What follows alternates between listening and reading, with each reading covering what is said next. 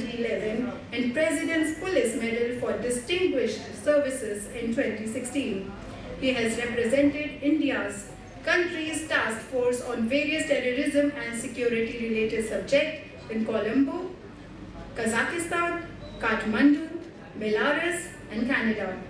Headed Faculty for Studies, Institute of Border Management and Strategic Studies at BSF headquarters and presently He is heading the Rehabilitation and Resettlement Settle cell of B S F गृह मंत्रालय इतनी बड़ी चीज़ें इन्होंने की है अपने जीवन में। पढ़ते पढ़ते मुझे ऐसा लगता था कि और ये हमारे जीवन में बड़े बड़े please welcome doctor Giriraj Sharan Agarwal जी सचिव एट हिंदी साहित्य निकेतन। तालियाँ, हर किसी के नाम की बात बनती है। Yes, ma'am. Okay, ma'am. आप हमारे शो की शुरुआत करें लैम्प लाइटिंग सेरेमनी के साथ। थैंक यू सारी की सारी चीज़ें सारा अंधेरा दूर हो जाए और हमें जितने भी भगवान है उन सभी का आशीर्वाद मिले ताकि हम अपनी ज़िंदगी में उजाला कर सकें। सो एक बार जोरदार तालियाँ हो जाए।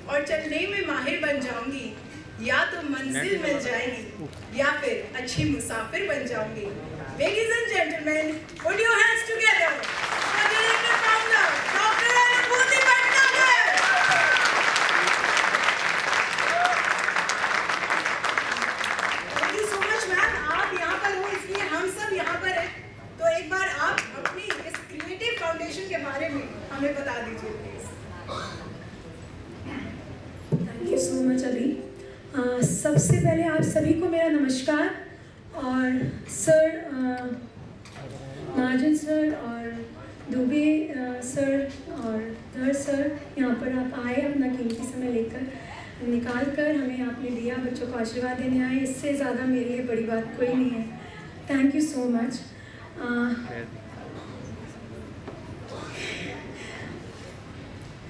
मैं बहुत इमोशनल हो जाती हूँ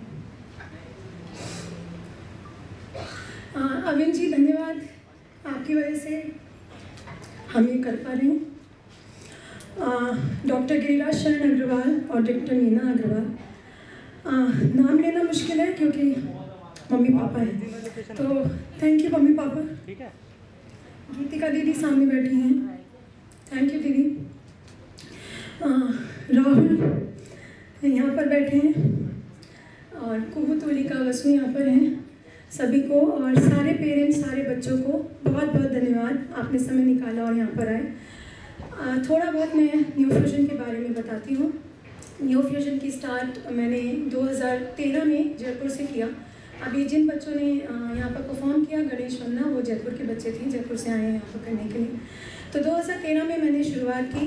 जब मुझे अ, मैंने कुछ आंकड़े में देख रही थी कि यहाँ पर तब तो करीब 225 मिलियन बच्चे होते थे डॉल्सिन अब वो बढ़कर 245 के करीब पहुँच गए हैं और 17 परसेंट हर वर्ष स्कूल छोड़ देते थे।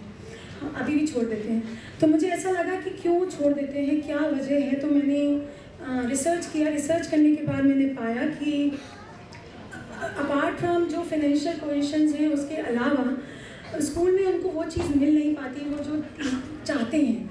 तो मैं क्योंकि पेंटर हूँ तो मैंने कुछ स्कूल्स में वहाँ पर जाकर पेंटिंग सिखाना शुरू करा तो बच्चों का प्यार मुझे मिलना शुरू किया। ऐसे न्यू फ्यूजन क्रिएटिव फाउंडेशन की शुरुआत हुई। फिर अ, ऑल इंडिया लेवल पर हमने रजिस्टर कराया ये सोच कर कि राहुल प्राइवेट जॉब में है तो कभी भी कहीं पे किसी सिटी में जाएँगे तो मेरे को ये था, जिस सिटी में भी हम जाएँगे, वहाँ पर एक न्यू फ्यूजन शुरू करेंगे। और वो समय अगले साल ही तुरंत आ गया और 2014 में हमें गुड़गांव आने का मौका मिला। तो मैं प्रदीप डांस जो पीछे अभी सब हैंडल कर रहे हैं, उन्होंने और मैंने पार्क में बच्चों को डांस सिखाना शुरू किया। और क्योंकि वो एक ऐसी चीज़ थी डांस परफॉर्मिंग और विजुअल आर्ट से हमने बच्चों को अपनी तरफ़ अट्रैक्ट करने की कोशिश की। क्योंकि अगर हम पढ़ाने बैठाते तो शायद वो नहीं आते। और आज बच्चे कहते भी हैं आपने एक दो वीडियो में सुना भी होगा जो लोग पहले आए कि अगर हमें पता होता कि यहाँ पर पढ़ाया जाएगा तो हम कभी नहीं आते क्योंकि हम तो डांस सीखने आए थे। और वो जो वीडियो थी आज बच्चे वो ट्वेल्थ कर रहे हैं NIOS बोर्ड से और टेंथ बहुत अच्छे से पास कर चुके हैं। तो अभी चार प्रोग्राम हमारे यहाँ पर रन करते हैं। एक उड़ान है कम्युनिटी आउटरीच प्रोग्राम है फिर प्रारंभ है जहाँ से बच्चों का प्रारंभ होता है हमारे एनजीओ में। फिर सक्षम है जहाँ पर मॉर्निंग स्कूल है जहाँ पर हम बच्चों को अ, अपने स्कूल में या तो एन से पढ़ाते हैं या फिर उनको स्पॉन्सरशिप करवा के उनके स्कूल्स में उनको डिफरेंट स्कूल्स में भेजते हैं। उसके बाद समर्थ है जहाँ पर हम एम्प्लॉयबिलिटी और उनकी प्रोफेशनल करियर की कैसे शुरुआत हो उसकी शुरुआत करते हैं। तो हम पाँच मेन पिलर्स पे काम कर रहे हैं। Performing and visual art education health career coaching and employability तो ये एक तरह से हमारा कंप्लीट स्कूल है कि बच्चा यहाँ पर आए और जब यहाँ से निकले तो एक सफल व्यक्ति बन के जाए। और एक सपना लेकर मैं यहाँ पर चली हूँ कि मैं, हमारा जो विज़न है न्यू फ्यूजन का वो ये है कि जब बच्चा यहाँ से निकले तो अपने पैरों पे खड़ा हो और जो भी उसका सपना है वो सपनों को पूरा कर पाए, इसलिए उसका नाम सपने हुए, अपने हमने, अपने प्रोजेक्ट का नाम रखा हुआ है। और ये मेरा मन है कि बच्चे जो भी मेरे से कांटेक्ट में आते हैं, वो धीरे धीरे अपनी पावर्टी साइकिल से बाहर आ सकें। वो तभी हम बात कर पाएँगे कि हाँ हम एक सोने की चिड़िया दोबारा से भारत को दे पाएँगे जब हमारी पावर्टी कम हो जाएगी। तो ये एक सपना है कि बच्चों को ऐसी एम्प्लॉयबिलिटी मिले कि वो अपने सपनों को पूरा करते हुए आगे बढ़ें और अपने करियर चूज़ करें। तो आज ट्वेल्थ के बच्चे जो या बी कॉम में बच्ची जो आगे डांस कर रही थी आ, वो बी ए सेकेंड ईयर अभी कर रही है और बी ए फ़र्स्ट ईयर में उसने टॉप किया था। तो आज तक हम करीब पाँच हज़ार से बच्चों तक हम बच्चों तक पहुँच चुके हैं डिफरेंट एक्टिविटीज़ के थ्रू और करीब 500 से अधिक बच्चे रोज़ाना हमारे जयपुर और गुड़गांव सेंटर में आते हैं और हम उनको शिक्षित कर रहे हैं और आगे बढ़ा रहे हैं। और सारे इस्लाम एडोलसेंट से रिलेटेड हैं और सारे ग्यारह साल, ग्यारह वर्ष से ऊपर और बाईस, तेईस साल तक के बच्चे हमारे साथ जुड़े हुए हैं। साथ साथ हम कोशिश कर रहे हैं कि उनकी एम्प्लॉयबिलिटी मिले तो अभी करीब सौ से ज़्यादा हम बच्चों को एम्प्लॉयबिलिटी में हम लोग आगे कर चुके हैं और उनको ट्रेनिंग दे चुके हैं और अभी हमारे कुछ बच्चों की बी में जॉब लगी है। और काफ़ी अच्छा हम लोग कर कर रहे हैं अर्न कर रहे हैं। तो ऐसे ही धीरे धीरे प्रोग्राम शुरू हो रहा है। तो वो एक कंप्लीट स्कूल है और मैं ये कहती हूँ कि बेटी बचाओ, बेटी पढ़ाओ की बात हम सभी करते हैं। हमारा एनजीओ बेटी पढ़ाओ और बेटा सवारों पे काम करता है। मुझे जो लगता है कि हम विमेन एम्पावरमेंट की बात करते हैं। विमेन एम्पावरमेंट तब तक अधूरा है जब तक उसके साथ मैन नहीं हैं। तो हम सेंसिटाइज बॉयज़ को करें और साथ में महिलाओं को और बड़ी बच्चियों को हम एम्पावर करें तभी हम एक अच्छा समाज आगे दे पाएँगे। इसी के साथ मैं आपका ज़्यादा समय नहीं लूँगी और मैं आ, बस धन्यवाद कहती हूँ और आप लोग आएँ बच्चों को आ, आपकी ब्लेसिंग्स मिलें। और पद्मश्री काका हाथरसी शिक्षा पुरस्कार हमने करीब तीन वर्ष पहले शुरू किया और ये चौथा वर्ष है। आ, मैंने इसलिए शुरू किया क्योंकि जब हम अपने जनरेशन के लोगों से बात करते हैं तो काकू का नाम आ, मेरा बहुत बड़ा सौभाग्य है कि मैं उनकी नातिन हूँ मेरे नाना थे। तो और मम्मा पीछे बैठी हैं पापा हैं। तो तो इसलिए मैंने शुरुआत की कि जब मैं अपनी से छोटों से बात करती हूँ, कोई 25-30 साल के व्यक्ति से तो वो काका का नाम नहीं जानते। तो मुझे लगा कि मेरे बच्चे जितने भी मेरे यहाँ पर आएँगे, वो काका का नाम ज़रूर जान जाएँगे। और आज जितने भी यहाँ पर बच्चे बैठे हैं या जितने भी हमारे एनजीओ में बच्चे हैं, वो सब काकू का नाम जानते हैं और मेरे से काकू के बारे में पूछते हैं। तो बस ये है कि काकू का नाम हमेशा चलता रहे, हमारी जनरेशन तक सीमित ना हो, ये आगे बढ़ता रहे और हम उसको बढ़ाते चले जाएँ। और काकू के बारे में मेरे से ज़्यादा मम्मी और पापा बता सकते हैं। तो इस समय मैं पापा को आ, से आग्रह करूँगी कि पापा आप प्लीज़ आएँ और काकू के बारे में आप बताएँ कि उनका जीवन कैसे रहा।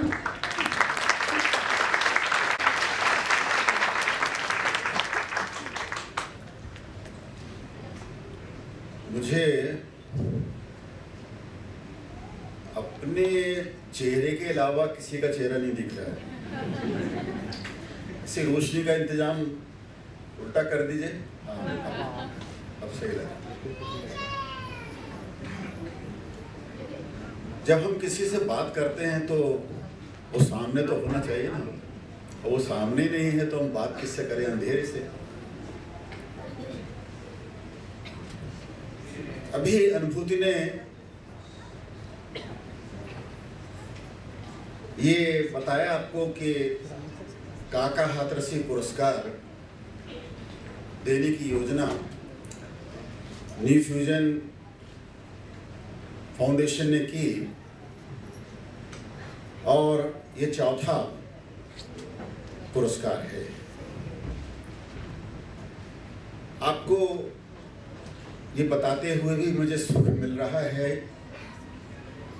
कि काका ने भी काका हाथरसी पुरस्कार ट्रस्ट की स्थापना 1975 में की थी। मैं उसका प्रारंभ से सचिव हूँ और उसके 44 कार्यक्रम हम कर चुके हैं।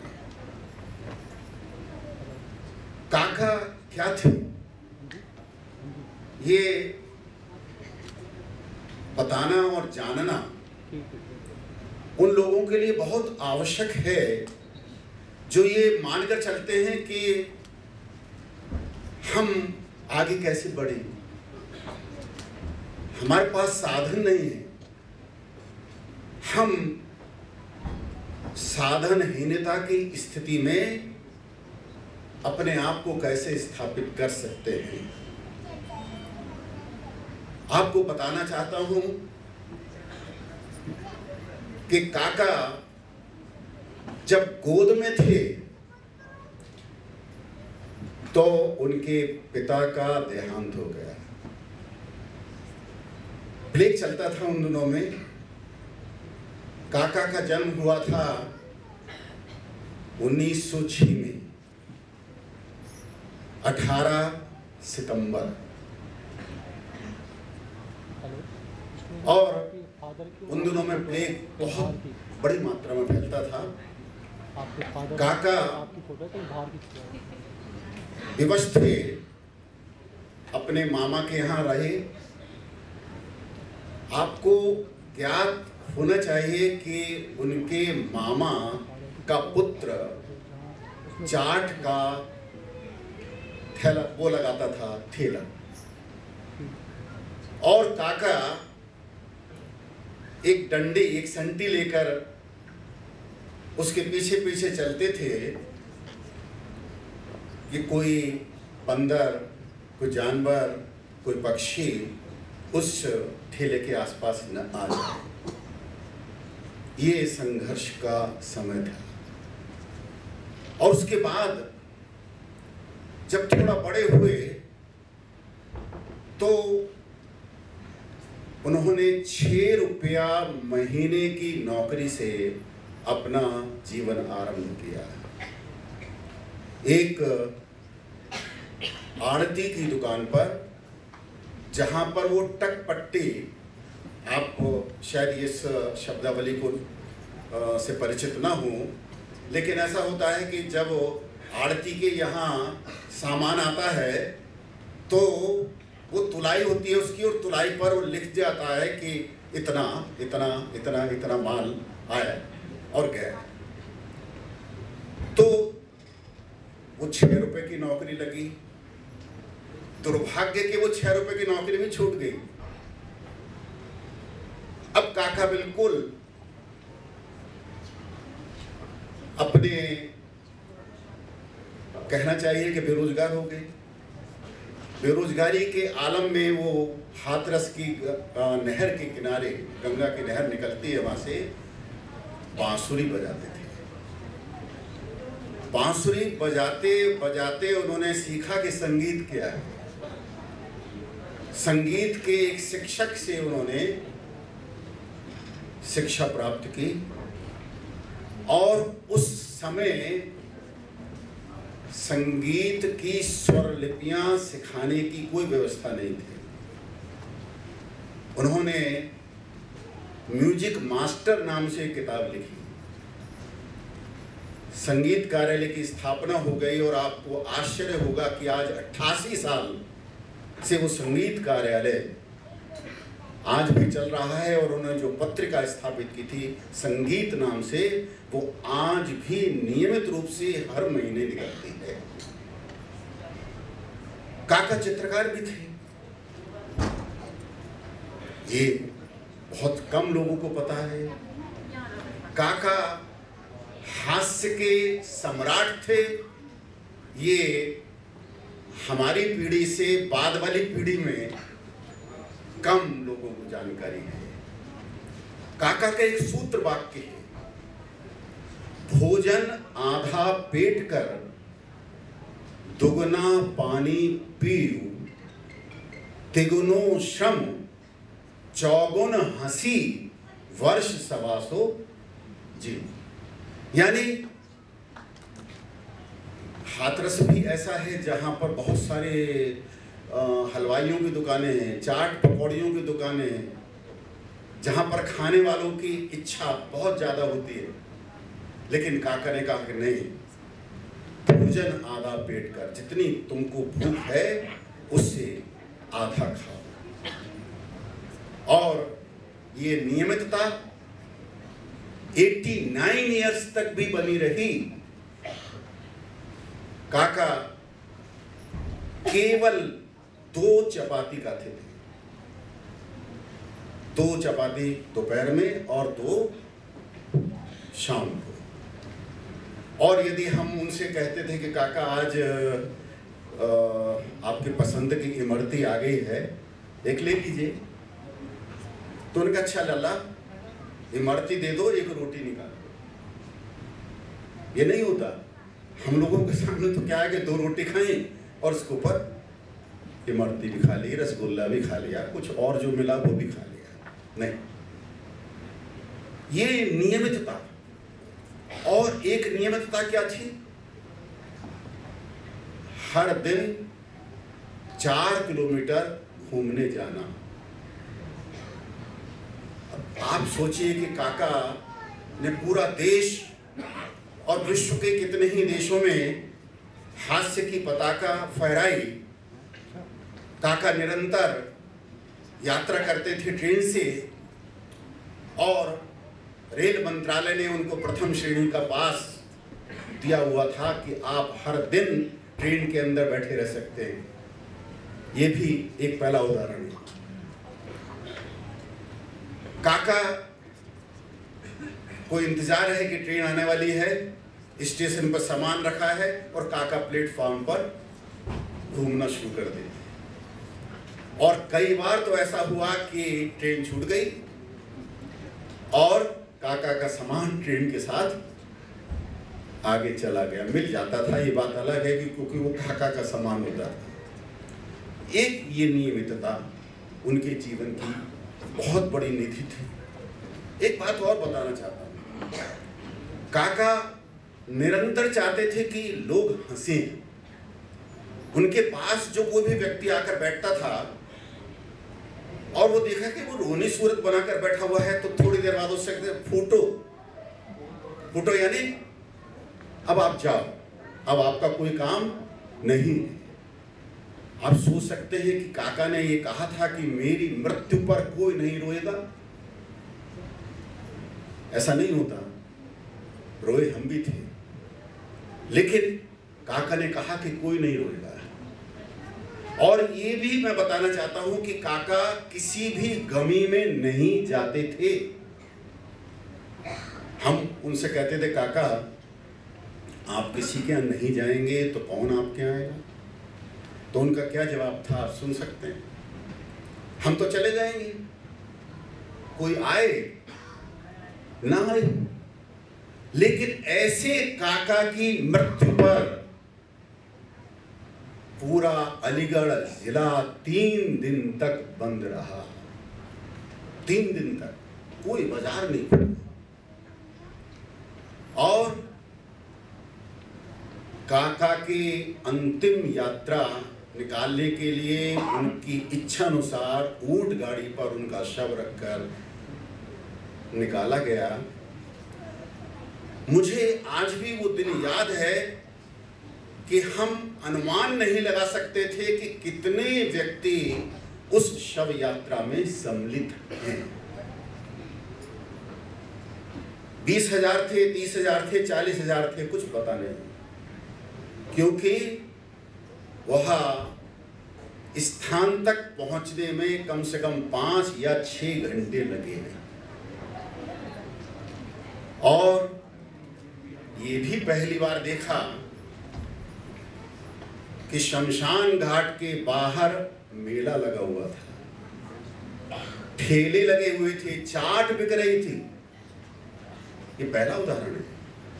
और उन्होंने कहा था कि मेरी मृत्यु पर, शमशान घाट पर हास्य का कवि सम्मेलन होना चाहिए। कितनी विचित्र बात है। एक और चिता जल रही थी, हम खड़े हैं, नमस्कार कर रहे हैं। दूसरी ओर हास्य का कवि सम्मेलन चल रहा था, ये शमशान घाट की बात बता रहा हूँ आपसे।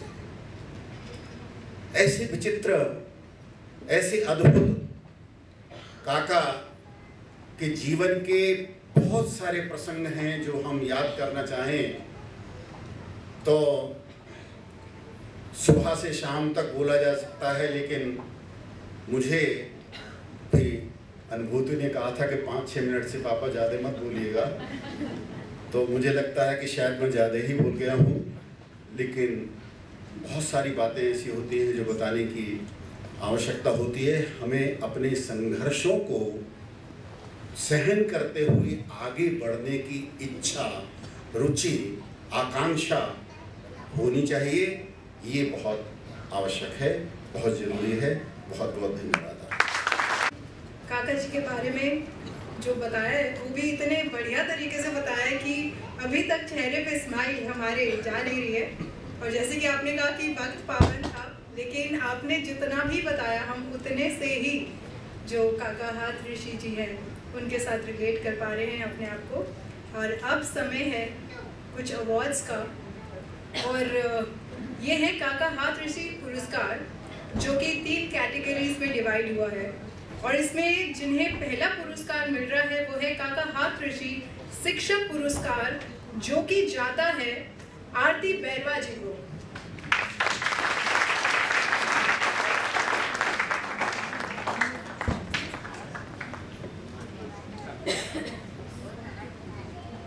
और इनको ये पुरस्कार देने के लिए request are chief guest Padma Shri doctor Harsh Mahajan ji are guest of honour mister N N D Jube ji doctor Giriraj Sharan Agarwal ji doctor Meena Agarwal ji on stage please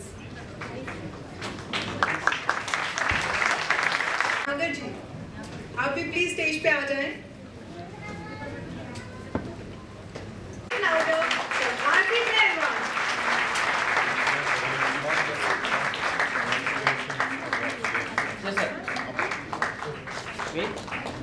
You.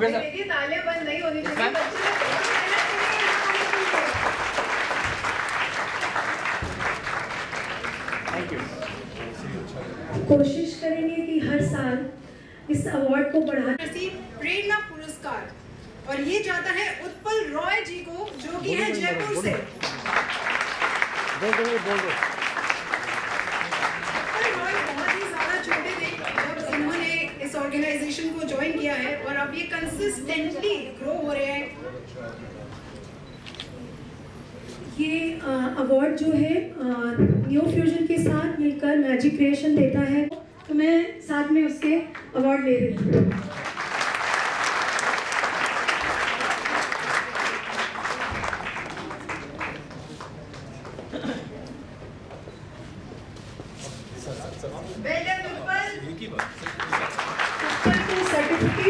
Cycle award के रूप में magic की तरफ़ से मिल रही है। एक बार बहुत ज़ोर से तालियाँ बजा दीजिए।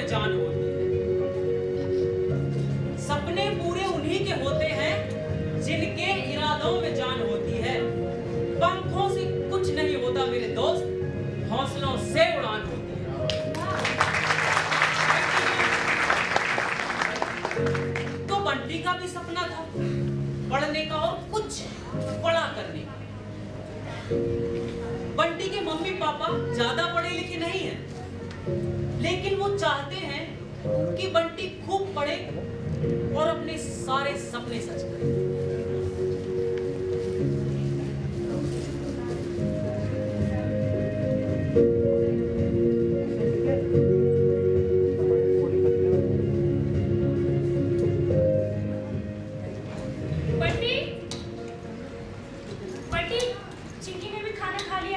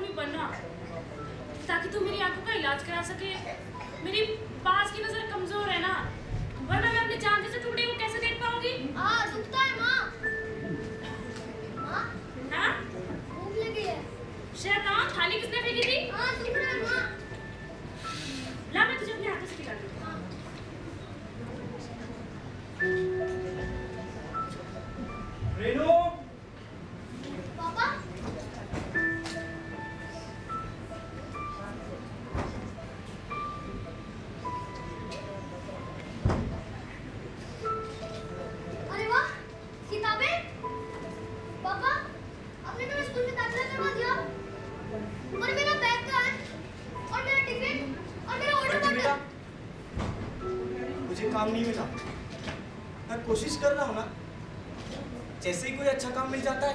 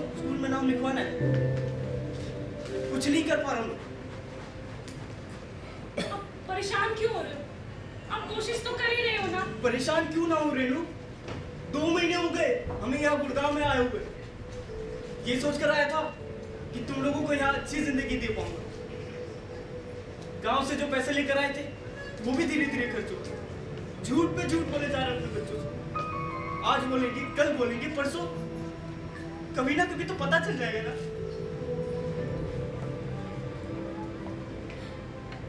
सच कहते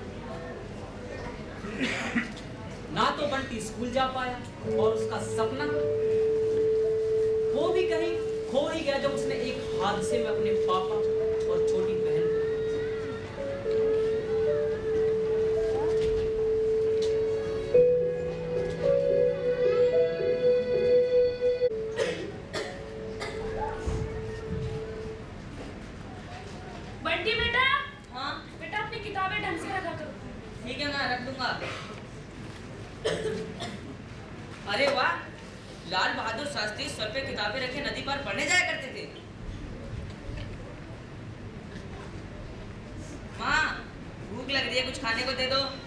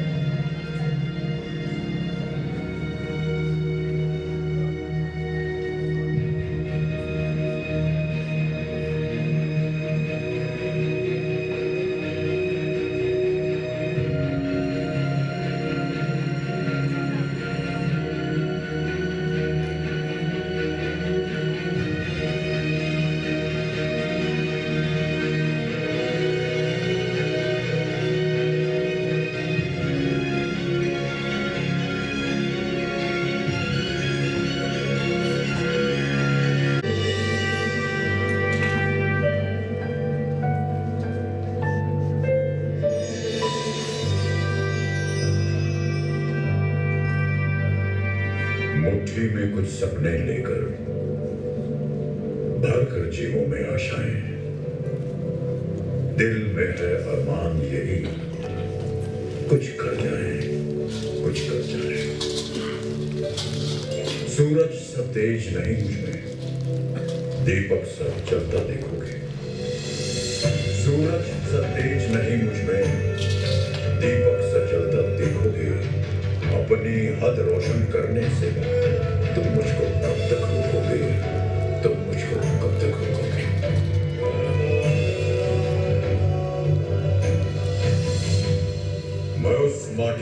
वृक्ष नहीं। जिसको नदियों में सींचा है, मैं उस माटी का वृक्ष नहीं। जिसको नदियों में सींचा है, बंजर माटी में पल कर मैंने मृत्यु से जीवन खींचा है। मैं पत्थर पर लिखी इबारत हूँ। मैं पत्थर पर लिखी इबारत हूँ। शीशे से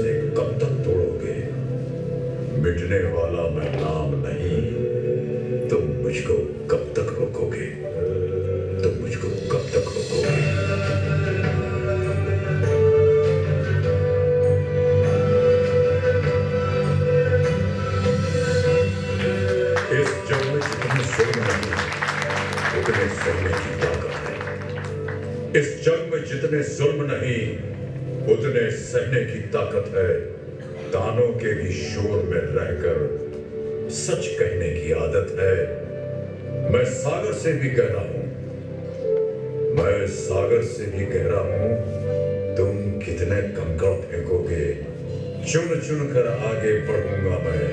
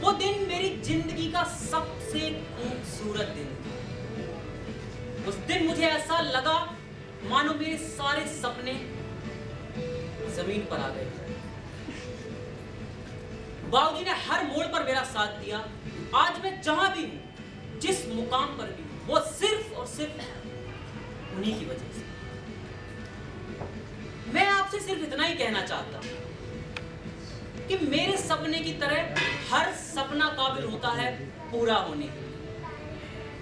अगर आपको भी कोई ऐसा सपना दिखे ना तो उसे पूरा ज़रूर करवाइएगा। क्या पता आपकी एक छोटा सा कदम किसी को उसकी मंजिल तक पहुँचा सकता है।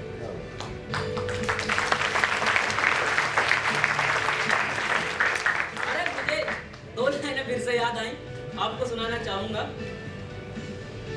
निगाहों में मंजिलें साफ़ थी बार बार गिरे गिर कर संभलते रहे।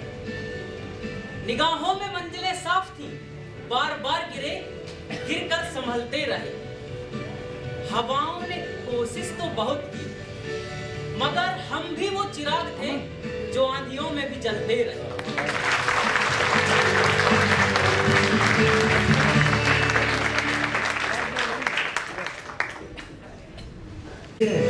दुनिया है।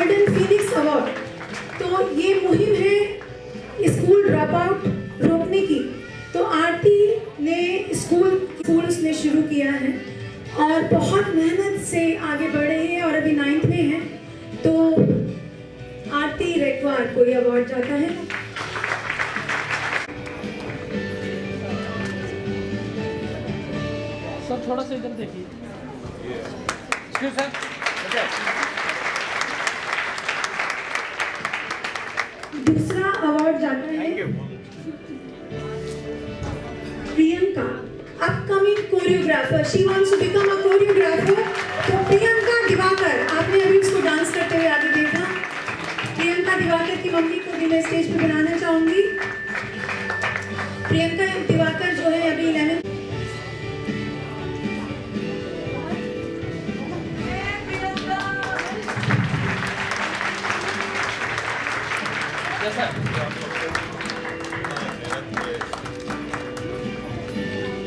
Thank you. अभी सपना मिल जाए तो आप उसका साथ ज़रूर दीजिएगा कुछ ऐसे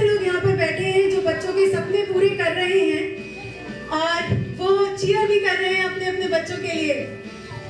तो थैंक यू तीसरा अवार्ड जाता है अपकमिंग रेसलर वो मार्शल आर्टिस्ट बनना चाहता है। He is red belt Aamir Khan. मम्मियाँ दिन रात बच्चों के साथ लगी रहती हैं। मैं जानती हूँ, इसलिए मम्मियाँ स्टेज पर हैं। आज मम्मियों और बच्चों का विजय सर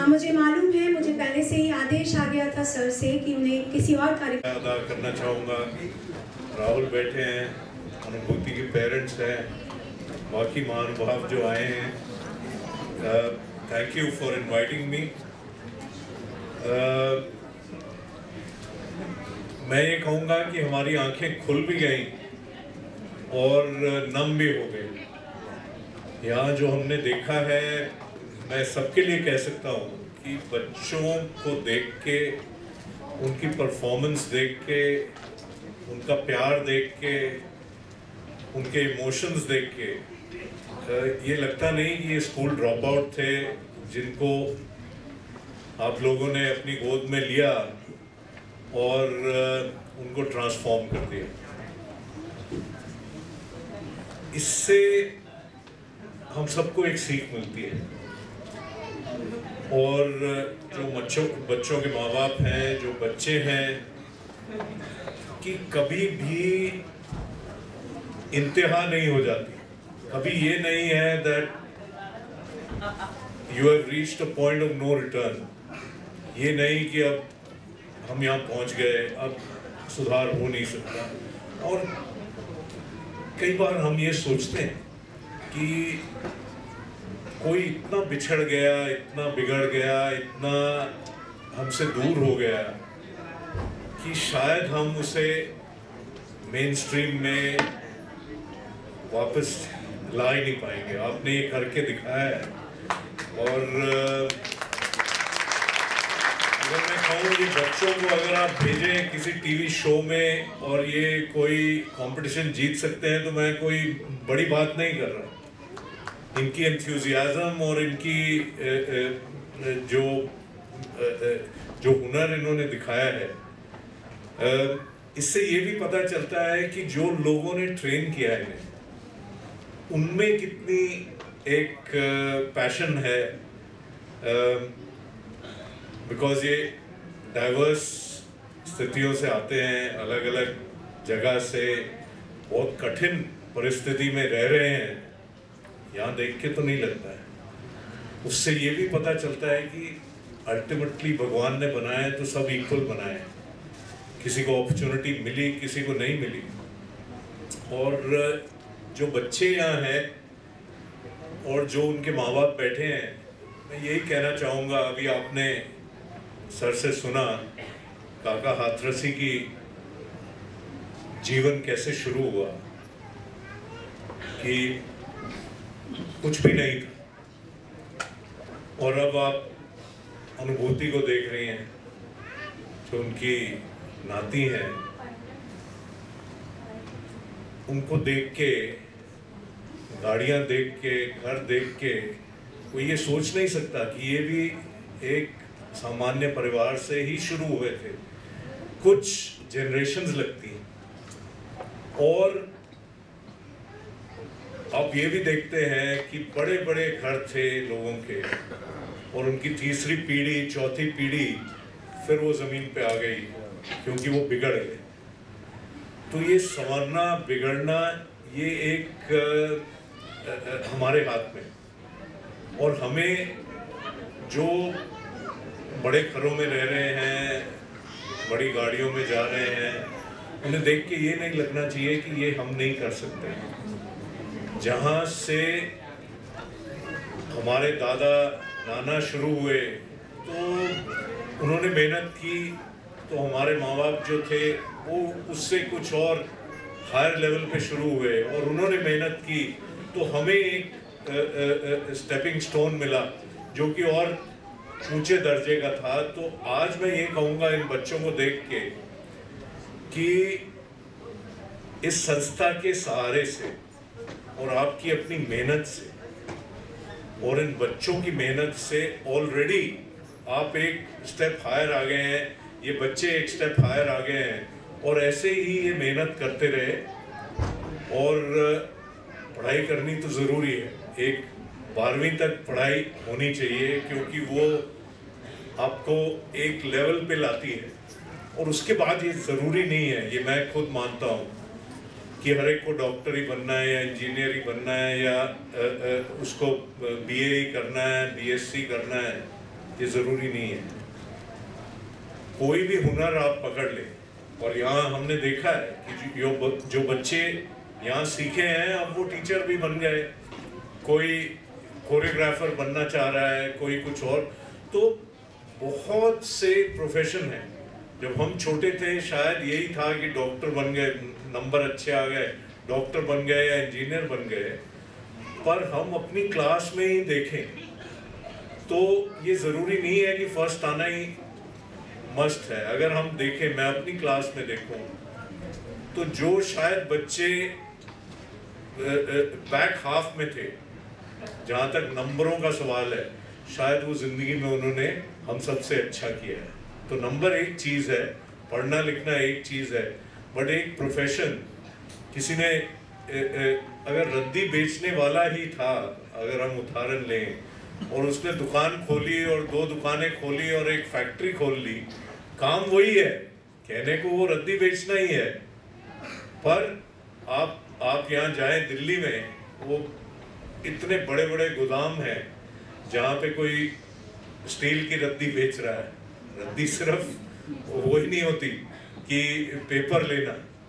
और उससे वो चल रहे हैं। सो, कहने का मतलब ये कि कोई भी प्रोफेशन आपको मिले तो उसे लेना है, वहाँ मेहनत करेंगे, आगे बढ़ेंगे तो कहीं ना कहीं पहुँचेंगे। और यही प्ले का एक और उदाहरण लूँगा। उन्होंने कहा कि सौ डेढ़ सौ रुपए की नौकरी मिलती है उसमें क्या बनेगा? कुछ तो मिलता है। तो जो मिले उसको लेना है। उसको ना नहीं करनी है। क्योंकि आप लगन दिखाएँगे अच्छा काम करेंगे मेहनत हमेशा सफल होती है। और औज़ार हमारे पास नहीं भी हो इन्होंने ए, ए, एक शेर भी सुनाया जो एक्चुअली मैं मैं हर जगह बोलता हूँ।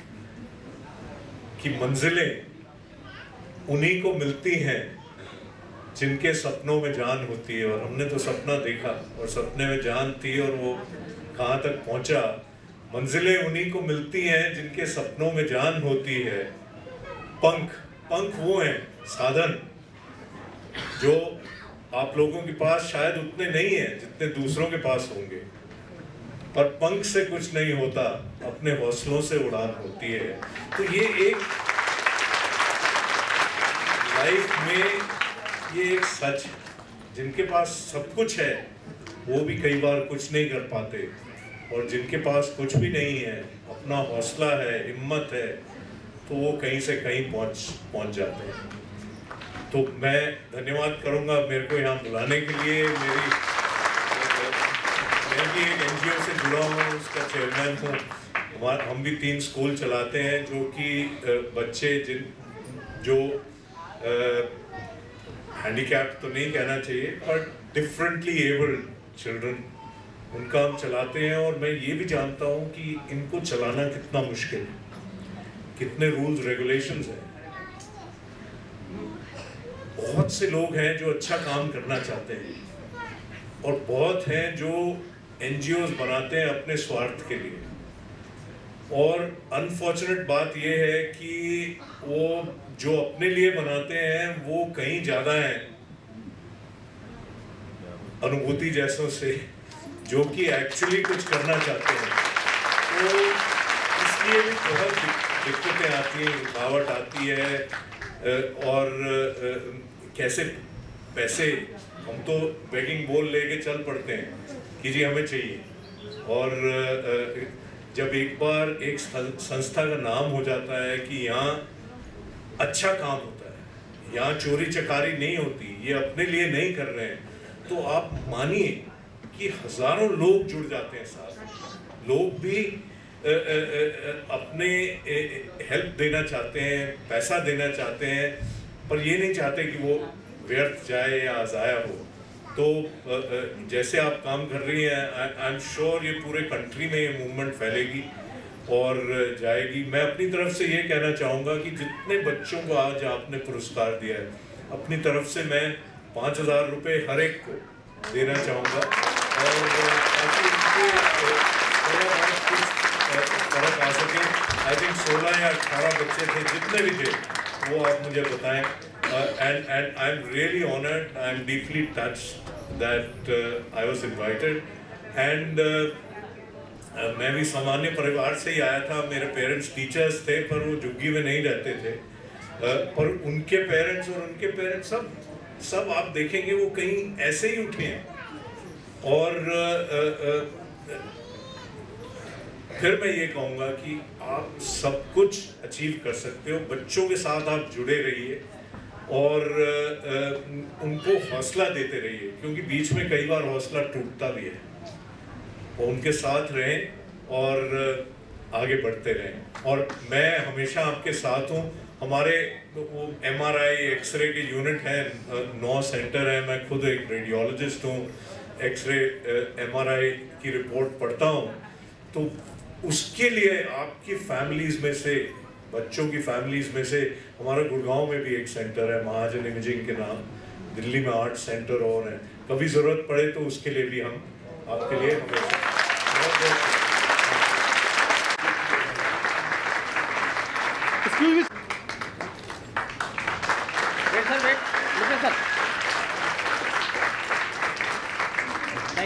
May I please call upon our guest of honor, Mr. N.N.D. Dubey ji.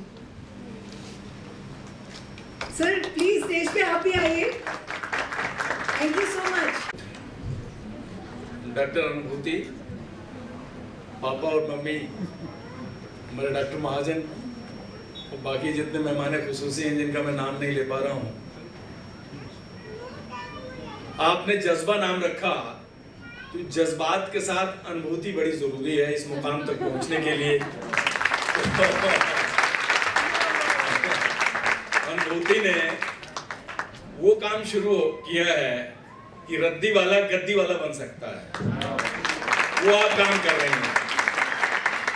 मैं 2013 में जब आपने शुरुआत की थी तो मैं उस समय एक ऐसे एजेंसी में था।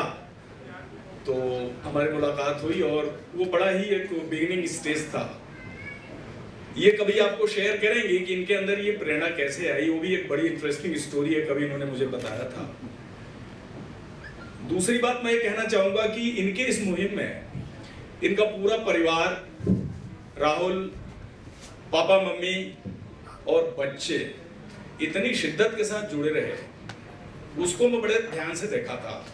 तब जब प्रगति मैदान में एक पुस्तक का विमोचन था उसमें देखा कि बच्चे बिल्कुल साथ इनके, ऐसे जैसे जो जो इनका जो जज्बा है, उसके वो भी इक्वली हिस्सेदार हैं। तो वो मुझे इनकी बड़ी भारी स्ट्रेंथ लगी। आपने जो छह साल में मुकाम हासिल किया, वो बड़े काबिल तारीफ़ है। एक टाइम था कि आप उसके फॉर्मेलिटीज को लेके भी, लेकिन जो मैं आपको जिस कोशिश से उसमें लगा हुआ देखा, मुझे लगा कि ये आप डेफिनेटली किसी हाइट तक पहुँचेंगे, क्योंकि जो डॉक्टर साहब ने बताया, उन्हीं, उसी की चीज़ की ज़रूरत है बेसिकली इस चीज़ में पहुँचने के लिए। और चिकनी मिट्टी से तो बर्तन सब लोग बनाते हैं। सोसाइटी में ऐसी मिट्टी से बर्तन बनाने के लिए तो दुकान खुली हुई है। लेकिन खादर की मिट्टी से आप बर्तन बना रही हैं, इसका बड़ा आपने ज़बरदस्त एग्ज़ाम्पल पेश किया। और जिस कंट्री में 40 परसेंट यूथ एडोलेसेंस है हमारे देश में एक करोड़, एक सौ तीस करोड़ का आंकड़ा लिया जाए तो बावन करोड़ बच्चे तो एडोलेसेंस हैं। और उसमें भी इतनी भारी तादाद है जिनकी एक्सेस ही नहीं है ड्रॉप आउट स्कूल्स की। वर्ल्ड के सबसे ज़्यादा अनाथ बच्चे भारत में हैं। तो ये आपने एक बहुत ज़बरदस्त काम शुरू किया है और आपके साथ इतने लोगों का आशीर्वाद है सपोर्ट है। इतनी ज़बरदस्त आपकी टीम है। और आपके बच्चों में इतना उत्साह है। और वो जो पीछे चीयर्स कर रहे थे अपने उन लोगों के लिए जो उन्हें शेपअप कर रहे हैं वो इस बात का एविडेंस था। That was the testimony basically कि वो इनसे कितने जुड़े हैं और ये उनसे कितने जुड़े हुए हैं। आपने इस एनुअल प्रोग्राम में बुलाया और काका की ज़िंदगी भी कोई डिफरेंट नहीं थी। प्रॉली काका जब छोटा सा डंडा लेके और मामा के चाट के ठेले से बंदर और लंगूर भगाते रहे होंगे तो भी काका की बड़ी ही एक संघर्ष वाली कहानी रही होगी। तो ये कहीं ना कहीं आपका जाके मुकाम मुहिम मिलता है। मैं उन सारे बच्चों को कॉम्प्लीमेंट करता हूँ, उनको बहुत बहुत बधाई देता हूँ, उस टीम को तैयार करने वाले पूरे आपके स्टाफ को बधाई देता हूँ, पापा, मम्मी को बधाई देता हूँ, और उन तमाम लोगों को जिन्होंने हमें यहाँ पर आने का आज मौका दिया। थैंक यू अभी तक टैक्स नहीं लगा तालियों पे हम बजा सकते हैं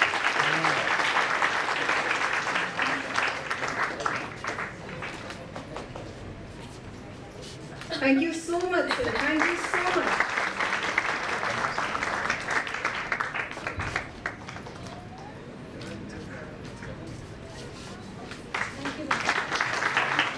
क्योंकि हमारे पास आज भी सीएसआर फंडिंग नहीं है लेकिन हाँ हम लोग आगे बढ़ पा रहे हैं क्योंकि हमारे पास हमारे बहुत प्यारे प्यारे स्पॉन्सर्स हैं जो हर महीने हमारे साथ हेल्प में रहते हैं और हमें ताकत देते हैं कि आप बढ़ते रहो हम हैं आपके साथ। तो ऐसे ही कुछ नाम मैं आपको आ, को मैं सम्मानित करना चाहती हूँ थैंक यू बोलना चाहती हूँ तहे दिल से कि आप लोग हैं तभी न्यू फ्यूजन है। तो उसके लिए मैं अविन जी पापा सर रवि सर आप प्लीज़ स्टेज पर आ जाइए।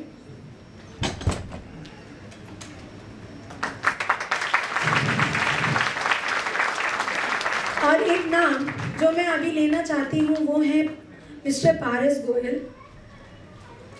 आ, जैसे मैं बच्चों को सिखा रही हूँ वैसे ही वो मुझे सिखा रहे हैं कि आगे कैसे बढ़ना है। वो मेरे कोच हैं मिस्टर पारस गोयल आपको मैं बुलाऊँगी।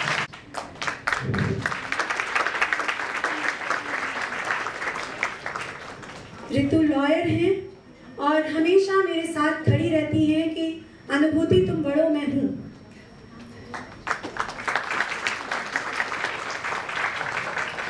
तीसरा नाम है doctor Aparna Jain.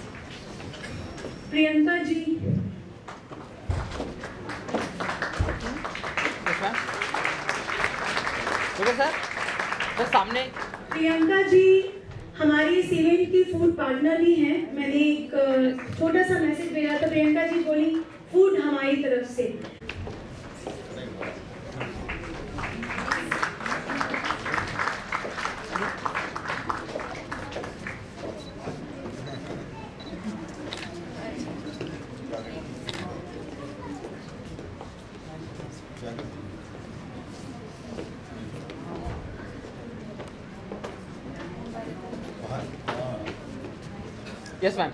Okay. Yes, yes. Yes.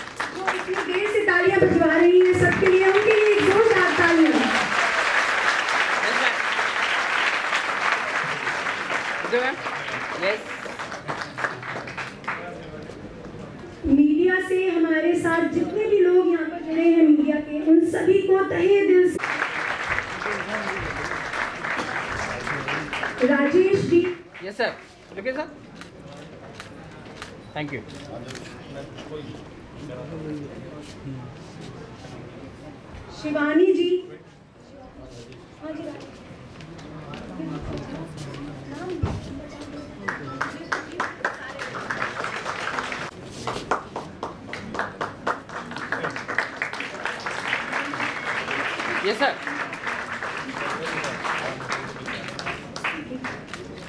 Thank you.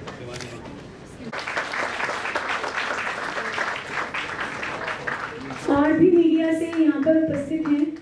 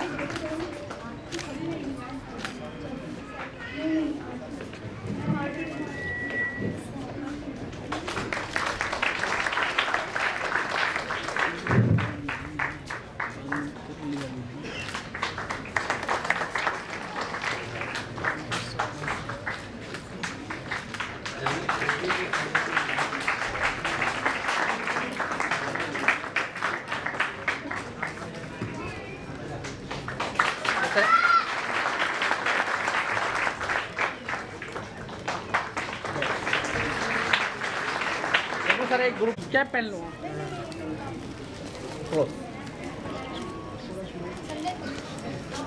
आप? थोड़ा इधर शिफ्ट हो जाइए।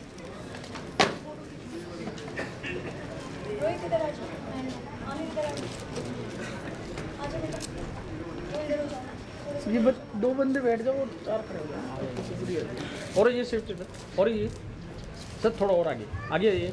इन दोनों बैठे आप लोग नहीं आप लोग नहीं आप लोग आप लोग इधर रहिए क्लोज यस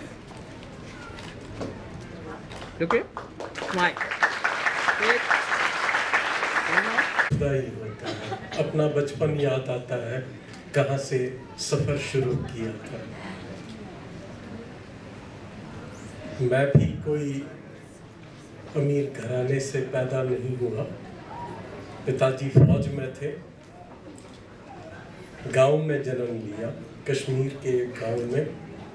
और शायद अगर मैं एक पब्लिक स्कूल एक सैनिक स्कूल मैं पढ़ाई के लिए ना जाता, शायद दसवीं से ज़्यादा पढ़ाई ना करता।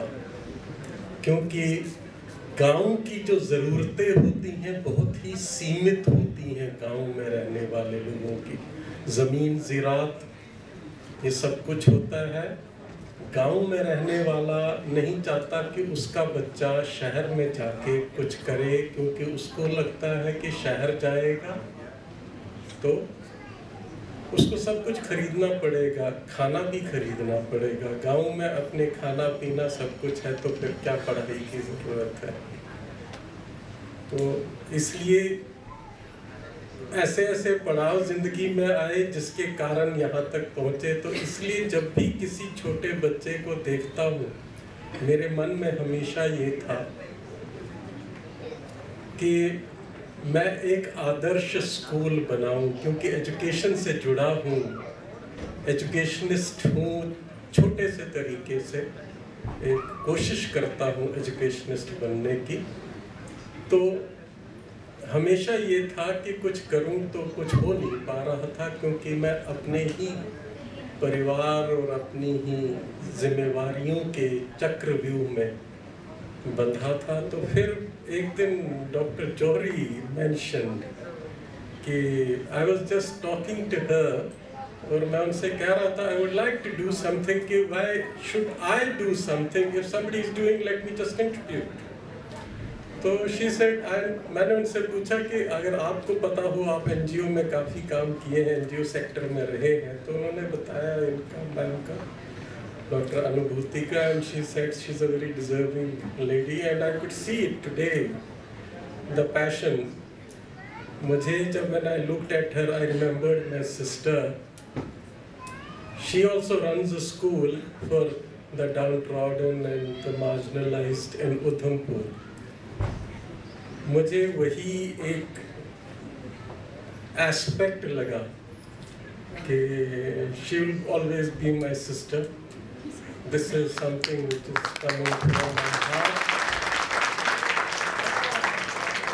वही चीज़, वही डेडिकेशन वही बाकी हमारी सबकी अपनी अपनी I could I would give up all and get into this noble task.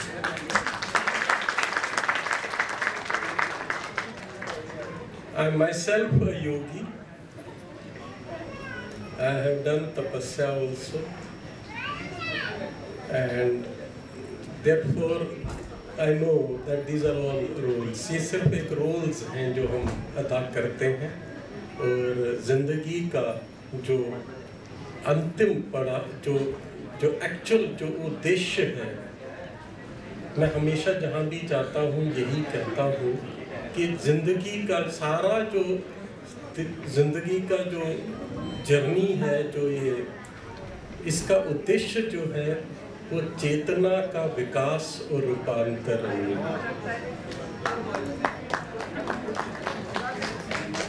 Shri Arvind का मैं डिसाइपल हूँ। इसलिए रिलीजन में उतना बिलीव नहीं करता। हाँ शक्ति में विश्वास रखता हूँ, चेतना में विश्वास रखता हूँ। जिसको हम सच्चिदानंद सत्य कहते हैं, उसमें विश्वास रखता हूँ। और मैं ये समझता हूँ कि जो ये बच्चे हैं, कभी मैं भी उस तरह था, कभी। मुझे याद आता है, मैं छोटा सा था, मुझे ये किसी लेट मतलब somebody dishonored me because she mistook me for a vagabond child. And that day, when I came crying home, I told my mother, and she couldn't see, she was in tears, and she told my father, and then my father realized the mistake he had committed. And that very instant, he pulled up that person. तो उस दिन मुझे लगा कि विद्या एक ऐसा गहना है एक ऐसा अलंकरण है जो किसी भी बच्चे से वंचित करना एक क्राइम है और जो समाज अपने बच्चों के लिए कुछ नहीं कर सकता उस समाज को कोई हक नहीं है बड़ी बड़ी गाड़ियों में बड़े बड़े घरों में रहने का।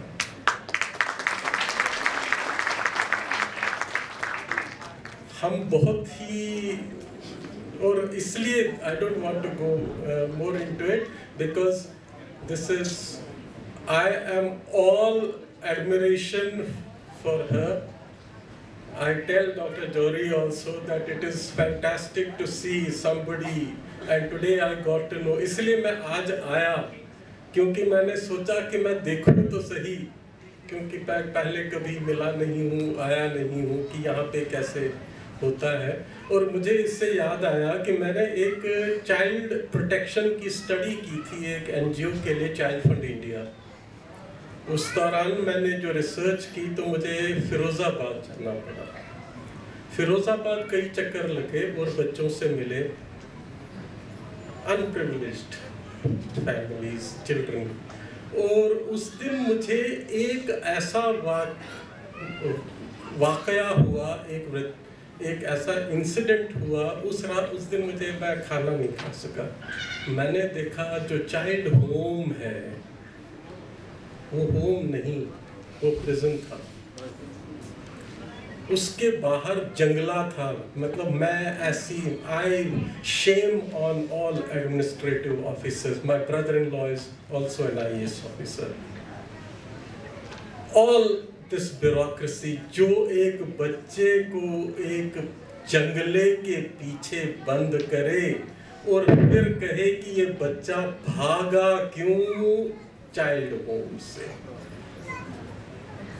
मुझे उस दिन लगा, मेरा मन, मेरा कचोट दिया मुझे उसने। मन ने कहा कि यार, तुम क्या कर रहे हो? कुछ निकलो, इसमें से कुछ करो। तो she is doing a great job all my best wishes I never wanted to be identified as a donor I am not, I don't want any such, I, because what I'm doing is I'm doing nothing, I'm doing nothing. Because I know the credit goes to people like her who are sweating it out on the field and purely out of love and affection for these kids. So Felicitate you with a token of love and thanks and appreciation.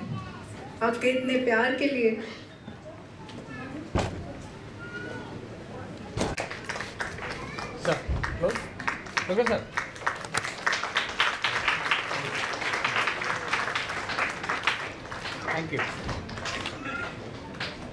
Thank you so much sir once again thank you so much from our team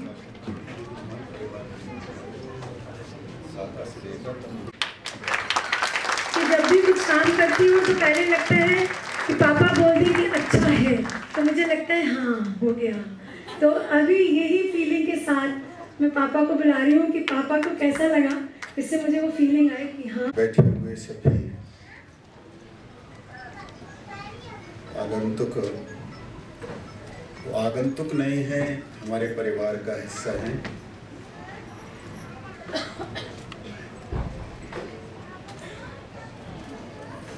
एक बात मुझे कहने की इच्छा हो रही है। आप आज्ञा दें तो।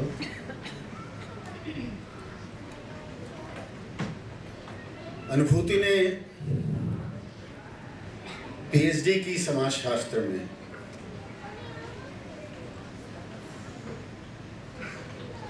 और समाजशास्त्र में पीएचडी करने के बाद मुझे लगता था कि ये अच्छा शिक्षक हो सकती है। मैं भी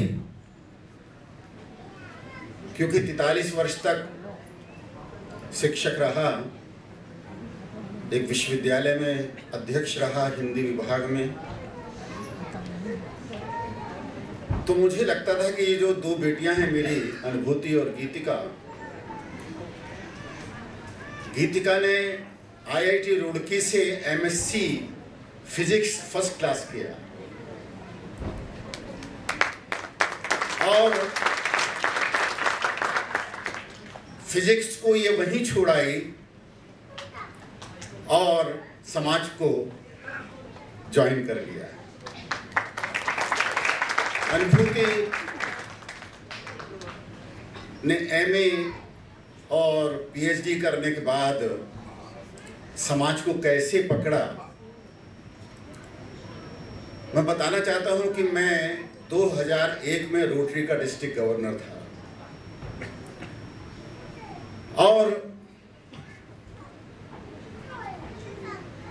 और उस समय मैं जिस क्षेत्र में डिस्ट्रिक्ट गवर्नर था, वो सात या आठ रेवेन्यू डिस्ट्रिक्ट थे, जिसमें मुरादाबाद, मेरठ और मुरादाबाद, बिजनौर, मुजफ्फरनगर, बागपत, अमरोहा, यानी ये ऐसे ज़िले थे जहाँ पर पोलियो अपने पूरे चरम पर था। मन बड़ा उद्विग्न रहता था। बच्चे और हम ये कहते थे कि पोलियो हो गया है तो इसका जीवन खत्म हो गया।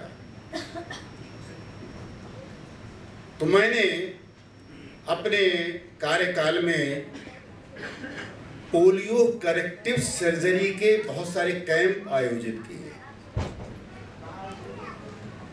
बच्चे आते थे जो चल नहीं सकते थे, जो खड़े नहीं हो सकते थे।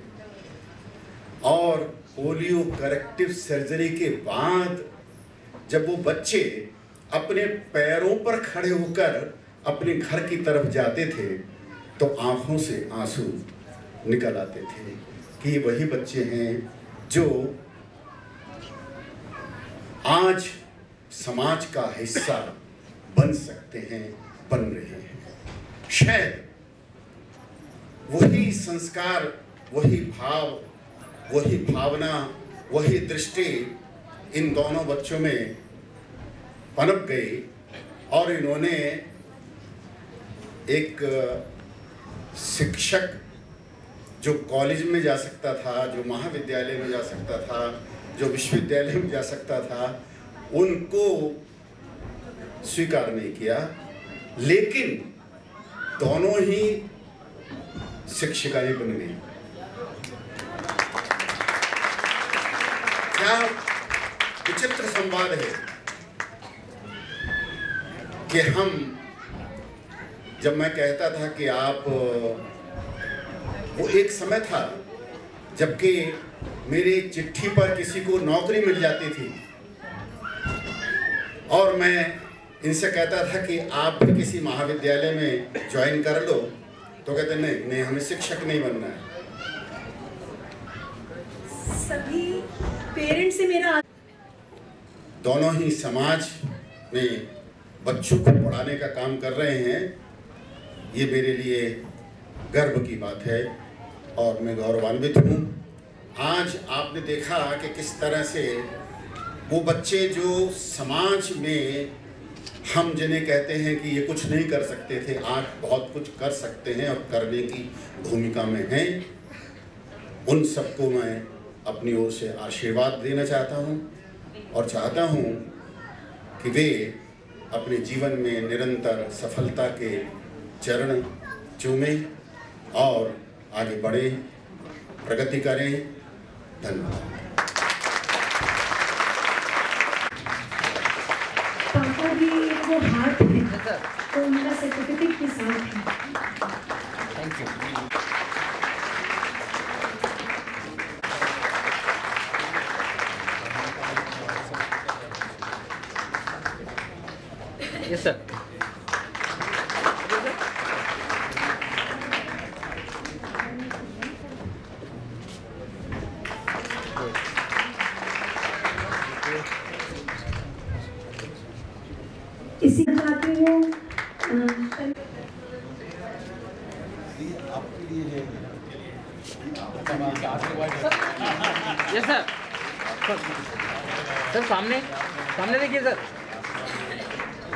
सर इधर।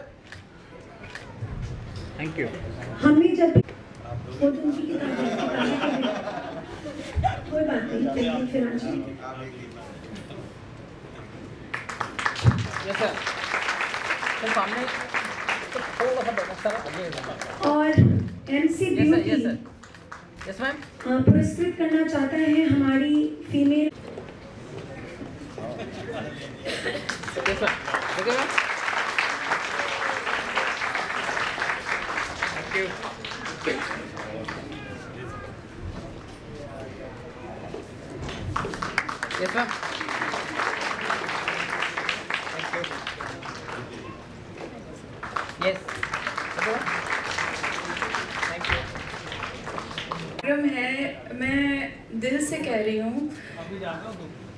न्यू फ्यूजन को ऐसे बीज जब था तब से देखा मैंने और आज एक युवा पौधा बन गया है और बहुत जल्दी बहुत बड़ा वृक्ष बन जाएगा। उसको जब आगे जब आप अपने बच्चे को, बहन का बच्चा अपना बच्चा जैसा ही होता है, जब आप उसको आगे बढ़ते हुए देखते हैं तो दिल में जो फीलिंग्स होती हैं, उनको शब्दों में बयान करना बिल्कुल मुश्किल होता है।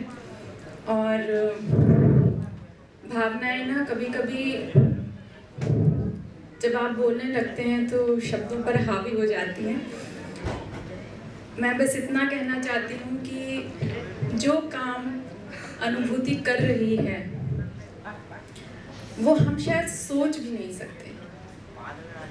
क्योंकि बच्चों के साथ मैं भी काम करती हूँ। बहुत सारे हज़ारों बच्चे हमारे साथ भी जुड़े रहे।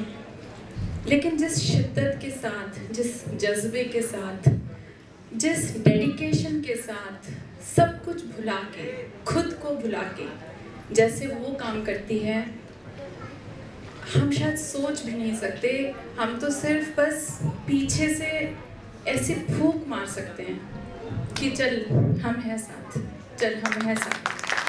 तो हम सब न्यू फ्यूजन अनुभूति उसका जज्बा, उसके बच्चे, उसके जो अभी सैकड़ों हैं, हज़ारों हो जाएँगे, उन सब के साथ बराबर खड़े हुए हैं। और मैं उसको ये विश्वास दिलाना चाहती हूँ कि जैसे ये बच्चे उसके बच्चे हैं, ऐसे ये बच्चे हम सबके बच्चे हैं। और हमारा प्यार उतना ही उनको हमेशा मिलता रहेगा, वो माँ है तो मैं मौसी हूँ।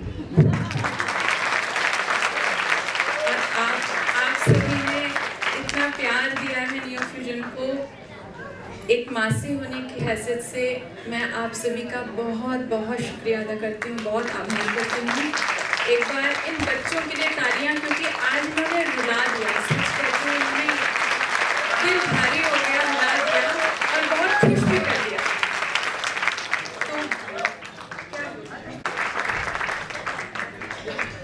थैंक यू सो मच दी। हम दो बहनें हैं हमने भाई की कमी पूरी कर रखी है हमारे लिए भाई नहीं है कोई बात नहीं है। हम दोनों एक दूसरे को राखी बांधते हैं और बोलते हैं कि हम दोनों ही एक दूसरे के भाई हैं हम दोनों ही एक दूसरे की बहन हैं।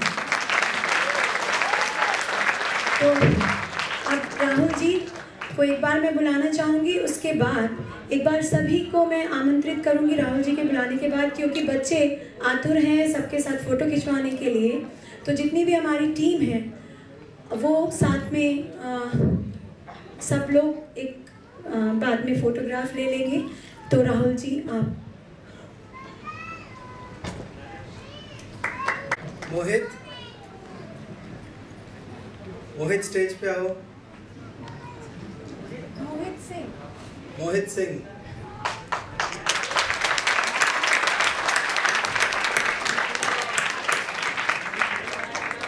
मैं कुछ और नाम आप मोहित मोहित ने ये जो प्ले आपने देखा, उसका डायरेक्शन मोहित ने किया था। उनको बुलाना चाहूँगी। उसके साथ मेरी टीम में अभी जो उपस्थित हैं, वो है रागनी मैम। रागनी मैम, आप आ जाइए। Manjari ma'am, Preeti ma'am. मेरी टीम अगर मेरे पास नहीं है तो मैं अधूरी हूँ। तो आप और कौन मैं कोई? और एक और, जो कि मुझे दीदी बोलती हैं और हमेशा मेरे साथ है। वो है निकिता भाटिया।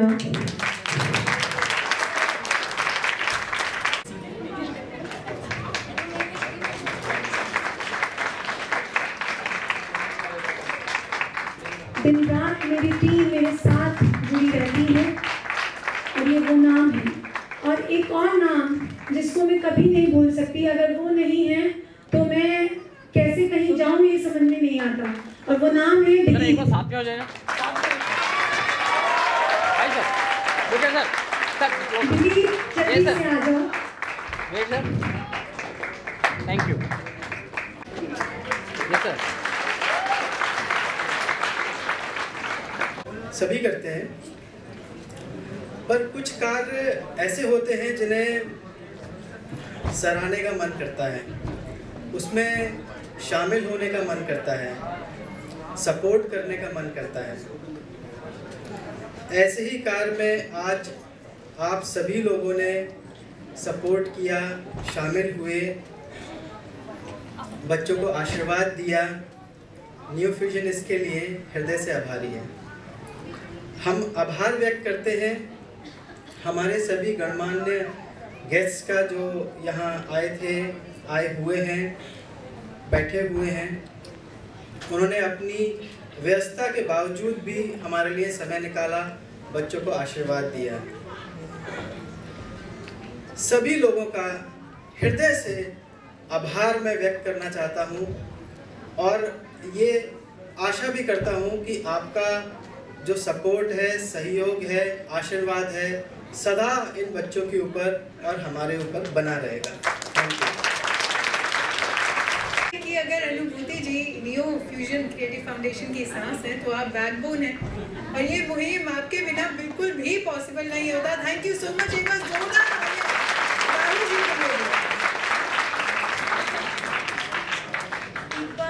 जितने परफॉर्मेंस करने वाले बच्चे थे, जयपुर और गुड़गांव, मेरे दोनों, जल्दी से स्टेज पर आ जाओ आप लोग। और आप सभी से आग्रह कि एक बार आप लोग आ जाएँ। पापा uncle sir Satish ji Rahul ji Avin ji Paras sir.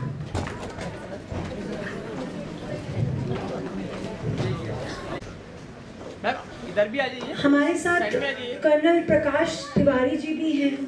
मैं उनसे भी आगे करूँगी सर प्लीज़ आइए सर। अच्छा करण जी प्रदीप और मोहित आप क्या कर रहे हैं पीछे? आर्यन? और मेरी जो टीम है ब्लू टीम ब्लू ब्रिगेड मेरी जल्दी से ऊपर आ जाओ सारे के सारे। फ़ोटो खींचो। बड़ा ही। ठंडा दोबारा बोलेंगे। आज तो जोश।